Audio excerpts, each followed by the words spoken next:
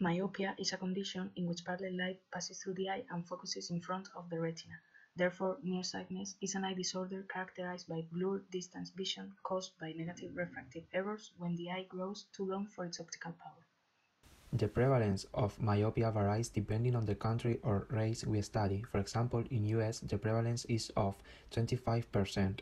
However, in females it is higher than males.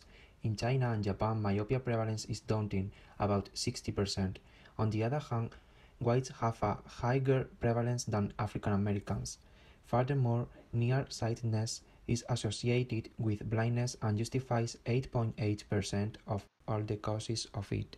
Many studies have shown that people who spend more time outside are less likely to suffer from health problems related to myopia. It was observed that myopia is more frequent in people who live in urban areas than rural areas. The reason is that in urban areas dominate jobs that require office work and near work. BESOD explains how the retina activates different pathways of genes depending on the signals it receives from the environment. One pathway makes the eyes grow small and the other one to grow big.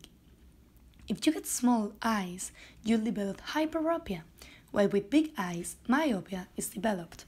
In hyperopia, the rays meet behind the retina, and in myopia, they meet before the retina. Studies showed that children with myopic parents tend to have a greater chance of developing myopia than those without myopic parents. 14.9% if there's only one myopic parent, and 43.6% if the two of them are myopic.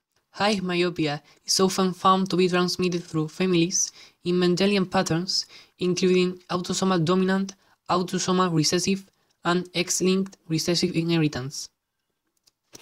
Refraction is determined by ocular biometric components such as axial length, anterior chamber depth, corneal curvature, and lens thickness.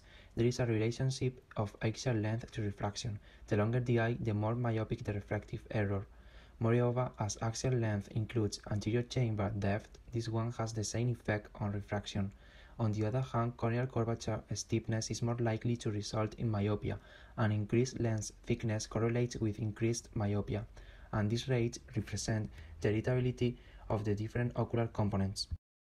As a conclusion, there are lots of limitations when studying myopia, like studied population characteristics, age, demography, living area, job diet, or the use of experimental animals due to genome differences with humans.